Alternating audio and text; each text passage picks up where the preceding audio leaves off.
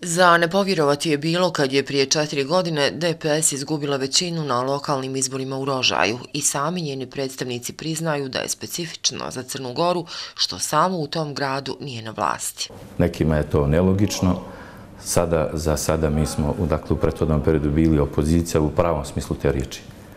Inicijative vezano za koaliciju kada je u pitanju na BS poslije ovih izbora i DPS su potekle iz vrha obje partije, da jednostavno u Rožajama postoji prostor koji bi politički prostor i prostor ovaj jednostavno mogućnosti za razvoj ukoliko bi se sinhronizovalo, delovalo i na lokalnom nivou. To je dakle jedna vodilja o mogućoj koaliciji Činjenica da se radi o različitim partijama prema programskim opredjeljenjima i načelima, ali kaže, očekivanja građana su da svi akteri političkih izbivanja moraju dati maksimum kako bi riješili nagomilane probleme u rožajama.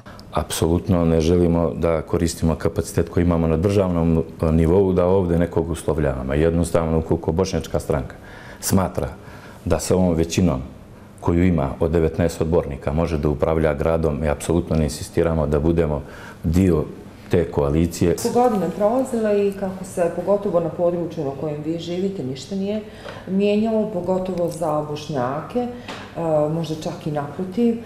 Jeste nikad razmišljali da priđete u neku stranku sa bošnjačkim predznakom? Nažalost, ovaj, nećete me pogrešno shvatiti meni, ja u startu sam doživio ovako da imate ovako novinarski pristup. Ipak promijeniti partiju je za mene ovako dosta, pogotovo u nekim uzbiljnijim godinama. Šta znači biti e, pa član pobjedničke jedne stranke koja jednostavno ne silazi sa trona? Je to nosi sa sobom neke beneficije?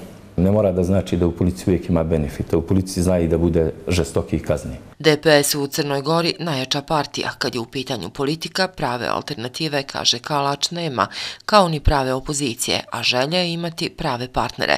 Razgovor u cijelosti u programu Sančak televizije.